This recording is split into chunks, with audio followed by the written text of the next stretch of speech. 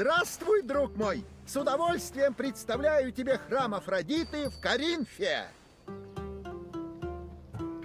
Прекрасное зрелище, не правда ли? Я о храме, не о девушках. Но они тоже красивые, красивые, полны жизни. Э, прости, на чем мы остановились?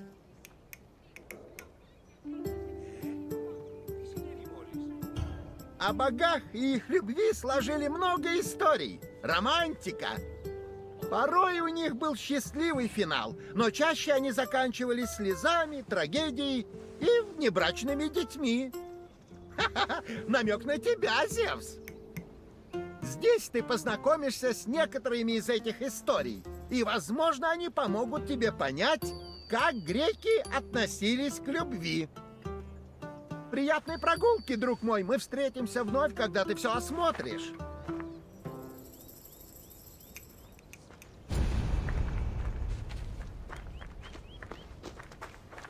Я пока немного занят.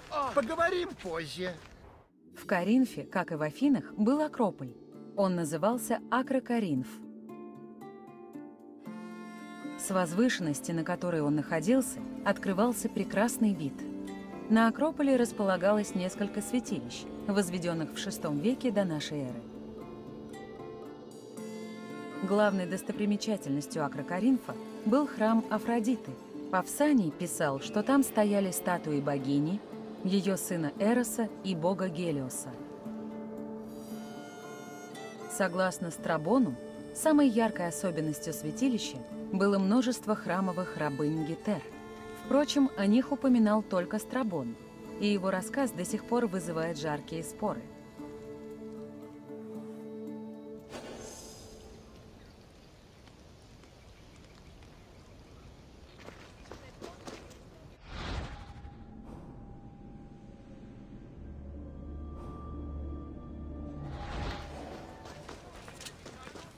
Любовь играла важную роль во многих греческих мифах. Ей был подвластен даже Зевс, который пленялся как смертными, так и богами. Некоторые мифы говорили о запретных чувствах, скажем, любовь Федры к ее пасынку Ипполиту. Хотя брак в мифах имел большое значение, он чаще изображался несчастливым. Так Афродита изменяла своему супругу Гефесту, а Медея, возненавидев покинувшего ее Есона, сошла с ума и убила своих сыновей от него. Эти сюжеты отражали отношение греков к браку, который для них был скорее гражданским долгом, а не любовным союзом.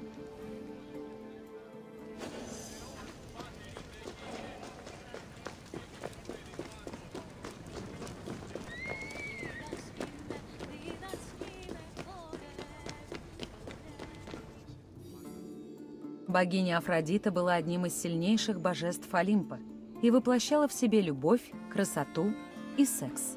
Ее чтили по всему Средиземноморью. Мужчины и женщины, юные и старые. Появление богини на свет описывают по-разному.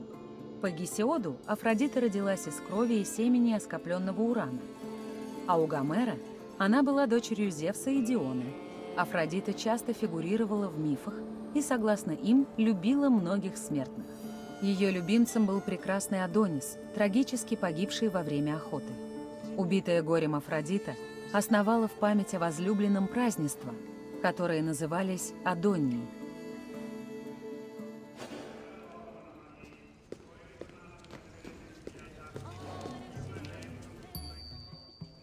Друг мой, рад видеть тебя вновь! Уверен, многое изрядно тебя удивило. Для бессмертных существ боги были весьма похотливые, а? Я могу еще что-нибудь для тебя сделать? Неужели? Тогда приступим.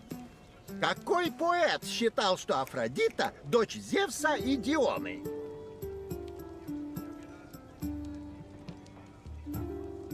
По словам Гесиода, Афродита родилась э, из э, э, отрезанных оливок Титана Урана.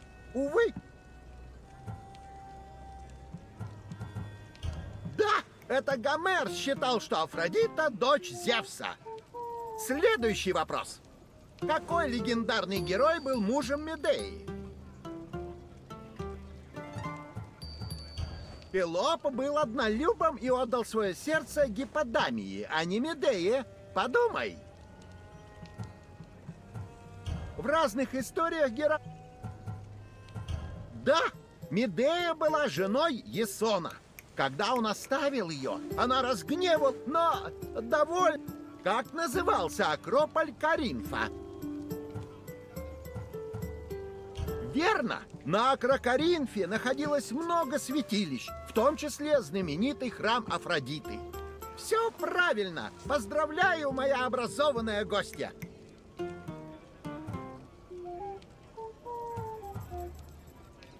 Я обычно не отпускаю тех, кто не купил что-нибудь на память, но для тебя сделаю исключение.